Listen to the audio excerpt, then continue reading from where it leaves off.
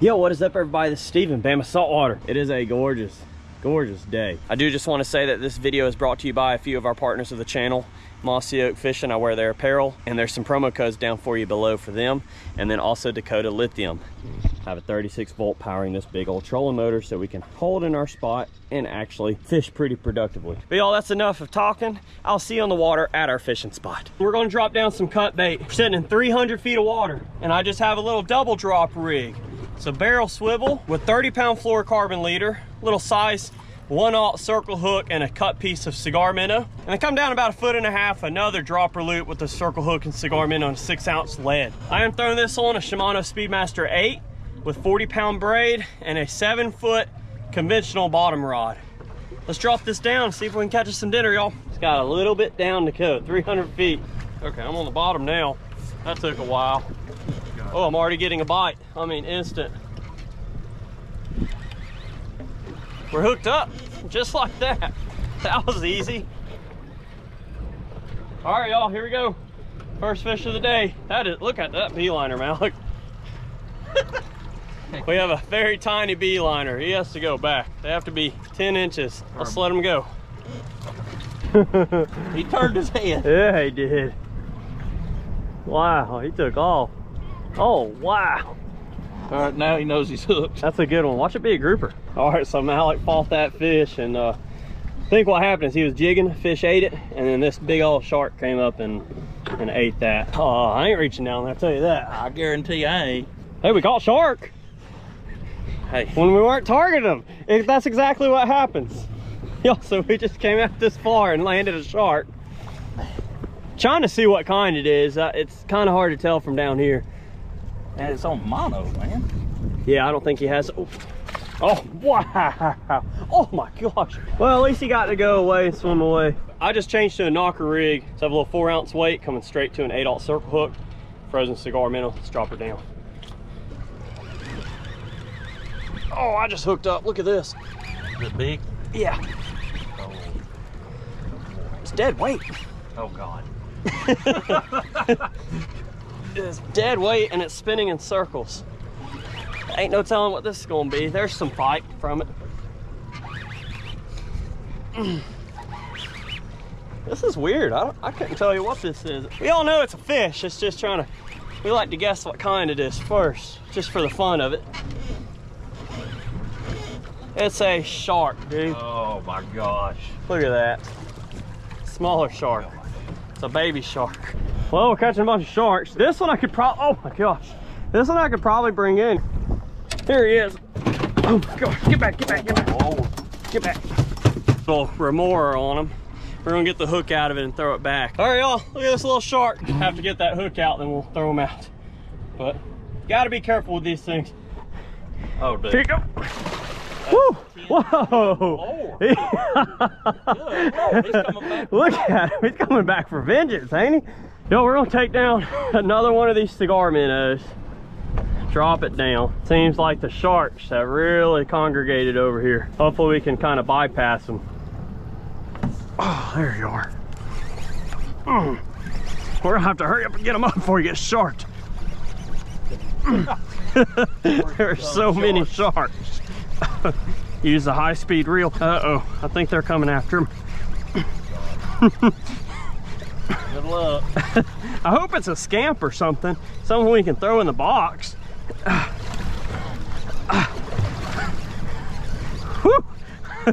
Dang, that wear you out. Yeah. There he is. Beeliner. Nice beeliner. These are good ones. Look at that joker. Y'all know that's a target species right there. Malik has one about the same size in the fish box. And then I caught this one. This is a vermilion snapper. They don't have to be 10 inches long. This is more than enough keeper. So he's gonna go in the box. What a beautiful fish. Heck yeah. Let's take another cigar minnow. Uh, I cut the tail off of them so they don't spin and tangle you up on the way down. Today there's really hardly any current. So using a four ounce weight. I hooked a cigar minnow just like that and let's drop it down. Oh, something, no wonder it was just swimming. oh, dude, I think, You got shark. oh my gosh, yeah, that's a shark. well, I ain't putting this thing in the water. that didn't take long, did it? no. Mm. My world. Oh my goodness, dude. These things are beasts. Pretty sure this is a shark, but it could be a, could be a gag grouper too. you know? Oh, I see. Oh, you see him? Yeah. Sharky. Uh, Looks. I don't know. That is a giant amberjack. Oh my my gosh. God. Well, you want to get the bogus because we can't keep them. Heck yeah! Too bad he's out of season.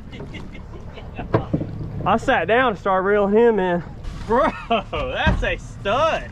Y'all check out the size of that amberjack. This is a greater amberjack. Thing's giant. They get bigger than this, obviously, but that's a nice example of one. Unfortunately, at the time of making this video, I can't legally keep him, so he has to go back. So we're gonna let him go, but what a stud. Oh, man, he swam off good and healthy. That was tough. Thought I had a big shark on. Woo! I sat down just used the wave, the swell to get him up. But that was on a frozen cigar minnow. Let's try to hook up another fish. I don't know if y'all can tell, but that amberjack kind of wore me out. it was on this beast of a rod. This is a seven foot E-Namic rod. It's actually a jigging rod. And so it has a lot of parabolic bend without breaking. And then a little Shimano Speedmaster 8. A pretty neat setup. Malik's down on the bottom already getting bit. Look at that rod tip. So he's hooked up now. That didn't take very long at all. I'm gonna bring it up. Hopefully something else we can throw in the cooler. I wish we could have thrown that amberjack in the cooler. There it is. Nice beeliner. Cool. That's a good one right there. That's another keeper. Heck yeah, dude. So instead of dropping a cigar minnow down, I'm gonna take one of these 250 gram Shimano jigs with about 10 feet of 50 pound mono leader. Same setup I was using. That's what I like about this setup. Let's drop this jig down and see what we can catch.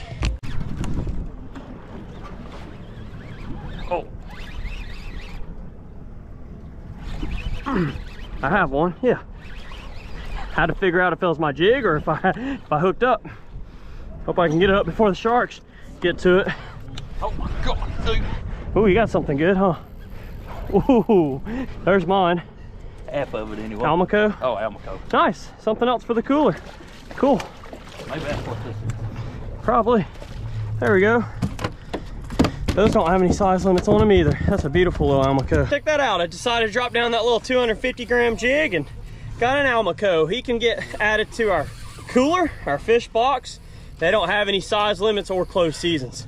What a pretty fish. Y'all, that was fun. Let's drop down the same jig again. Woo! Our initial goal was to come out here and troll a lot, but trolling bite. We trolled for what was that? About three hours with uh with no luck. That's just fishing, so we decided to come to a bottom spot while we were out here. It's all natural bottom. There's no way you'd be able to bring up an 18 inch scamp. Mm. I just hooked up. I was. Were you? Yeah. So hope I can get him up without, what's his name? Taxman coming up and getting it. Back. Another pretty beeliner and Malik just landed one as well. So he's just gonna go in the cooler. We're allowed 10 a person. Heck yeah. Yo, it's gonna be my last drop before we uh, start heading back. That is a beautiful sunset. Kind of hard to beat that view. It is uh gonna get dark on us and we have about a 40 mile trip back. We had pretty good fun. Yeah, some fun? Hooked some Oh yeah. Pretty big stuff uh, and we were able to get the cooler full with, with some fish to take home. So it's going to get dark on us. I'm to put the gopro away. We'll head home and i'll probably see you tomorrow in the cleaning table and the kitchen y'all. So see you in a bit. Y'all we are back at the house and uh it's the next day. They've been on ice all day and we're going to clean our fish. Check them out. It's a very dreary day today so we're going to clean these and head inside. But y'all what an amazing selection of fish right here. How awesome is that? You can't get any fresher. Instead of filleting them and wasting a bunch of meat, we're actually gonna cook them whole. So I'll show you how to do it with this big old beeliner right there. I think that's a perfect one. It's like our own fish market. There we go. That's a stud of a beeliner right there. You can catch these year round. They're easy to catch. You don't need a bunch of heavy, crazy tackle to catch them, and they're incredibly tasty. So I have a Sord, seven inch flex fillet. I like a little bit of flex, but I really like a stiff knife for most of this. So like I said, since we're not filleting it, the first thing I need to do is scale it. Use a descaler, you can use a spoon. I like a tool that's one size fit all, so I just take the back of the knife and it works just fine. Some people suggest pressure washers, but I feel like by the time I get my pressure washer hooked up, I could already scale all my fish. so we're gonna scale these. If you want a stiffer knife, you can get the serrated one. Use that to scale. You wanna make sure you get around that head. Up around these fins. So I'm gonna scale this whole thing, spray it off, and I'll show you what else I use. Guess what? We removed all the scales. Now it's time to spray it down. Clean all these scales up. If you've ever scaled fish before, you know you'll be finding them all over yourself. You'll find them on your back, under your forearm. They go everywhere.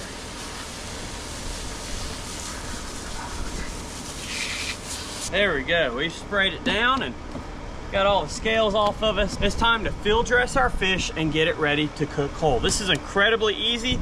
It may intimidate some people eating fish with the head on, but man, you don't miss any meat at all when you do that and it soaks up all the flavor from that carcass and the head and everything else. It's good. Make a shallow cut into their gut so you don't pierce all those guts in there and we're gonna remove them.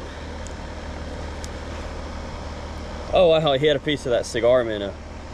Huh, check that out. That's what our bait of choice was yesterday was those cigar minnows. So that's kind of cool. We're gonna remove all these here and I like to remove the gills as well. A few times it'll pull everything out with it. Just want to be careful, the gill rakes can be kind of pokey. So once you removed majority of their innards, I'm going to spray that down again, remove the eyeballs, and then get ready to cook. Let's remove these eyes. Some people like to eat the eyes. If that's you, you can leave them in to each their own. I don't eat them.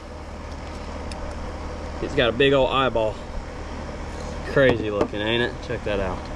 Now, I've shown this a couple times on the channel, but inside there's this pearl looking lens. I want to see if I can take it out and show you up close. This may look nasty, but check out that lens. So there's the fish lens that came out from its eye. It's kind of what gives them like a fisheye view. See if it'll focus. Check that out. See through there? Pretty cool looking through that, but that's what's inside the actual fish's eyes. That marble looking shape.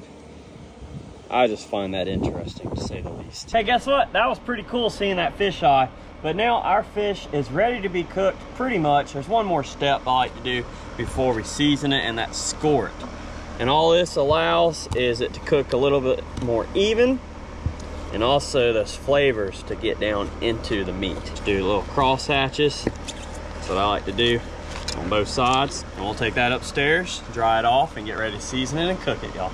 That is dinner. We are in the kitchen. It is time to marinate our fish. It's gonna go in the fridge for an hour after we finish this marinade before we cook it. So I have my B-liner clean, scored, and dried. Now what I have here is gonna sound complicated, it's really not, but check this out. These are chopped up curry leaves, fresh curry leaves, look at that ginger garlic paste. This is a teaspoon of turmeric powder, teaspoon of chili powder, teaspoon of salt. Have some red pepper flakes, that's about a teaspoon. Then some freshly sliced green chili and freshly sliced ginger, look at that. Along with a couple teaspoons of fresh olive oil. Now we're gonna mix this marinade together, take our ingredients all in a bowl. These ingredients smell so good. Oh my goodness. They're very strong and powerful ingredients and spices on their own, but when put together, they make such a nice, practically a masala. So let's get all these dumped in here.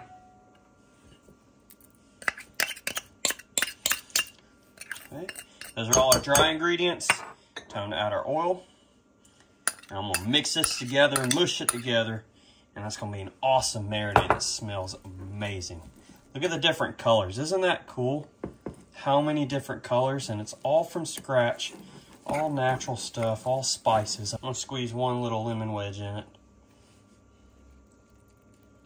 We'll get that seed out, don't y'all worry. and finish mixing that together. It's gonna be kind of a thicker marinade. It's more like a chutney, like a ginger garlic chili chutney. So now our paste is ready. A little bit of salt. But it's time to add our paste. This is where you don't want to be afraid to get kind of messy or get your hands dirty. You want it to rub it in, in between all the crevices that we cut, the scoring, that's where the flavor is going to come from. Otherwise, it's just going to be a really bland fried fish. So these are going to give some nice flavor on that skin and marinate into that meat. So get all that in there. Scoop up all a lot of that excess and get some inside of the stomach cavity there. Man, this is gonna be awesome. I can't wait. Oh yeah, y'all. Now we're gonna cover our fish and put it in the fridge for one hour to let it marinate and get all this delicious seasoning and spices and everything absorbed into that meat. We just pulled our fish out of the fridge. We have our oil heating up. It's gonna be shallow frying. Shouldn't take too long. It's a fairly thick fish, but it's not super big. Oh, man. That just, I can't get over how well those ingredients pair together. First thing I want to do though is just kind of flavor our oil. We'll have some of these fresh curry leaves we're going to throw in there. Think our oil's ready. Let's put our fish in. Open up, call the fire department.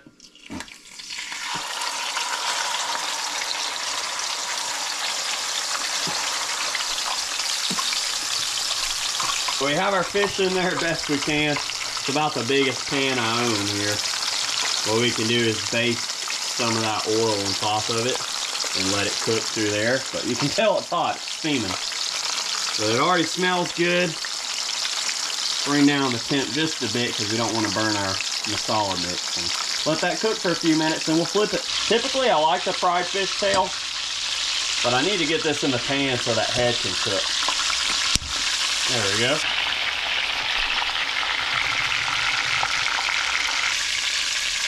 Oh yeah, look at that side right there. Heck yeah. Now I have some julienne ginger, that just means kind of thinly sliced ginger. And that's fresh raw ginger that we're gonna throw in there. If I say ginger one more time, take a shot. and some julienne green chili peppers. This gives an added aroma, a little bit more flavor on there. That turmeric's pretty strong spice, so you want to kind of balance everything out. Gonna let that finish cooking. Like I mentioned, I want to do this outside in my big pot. If you've watched the channel before, you've seen me fry whole fish. But I'm making do with what we got. That wind is terrible coming off the water. There's no way I can get that flame going. So this is gonna be good either way. But it is time to plate. So I just have some paper towels laying down. Mm, want to flip it over, make sure that side's cooked. Oh yeah, that's cooked. Nice. Check that out. The fins are crispy. The aroma right now in the kitchen is absolutely astonishing. It smells so good. All the spices together with that fresh beeliner, which is a snapper. All snappers taste good to me. Let's get ready to eat it, y'all. So you could eat it like this. I removed the paper towels. That fin's nice and crispy. But just to touch it up a little bit, I have some freshly chopped onion and a couple of lemon slices. Just raw onion to each their own. And then a few of these slices of lemon. Mmm. That right there is a pretty plate of food. Here's our freshly cooked masala fish. I cannot wait to try a bite. Let me grab a fork and we're gonna munch down. So thank you, Lord, for putting this fish there for this beautiful food.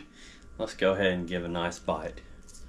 I have to go in for that head meat just because that's probably my favorite bite of the fish. Here we go.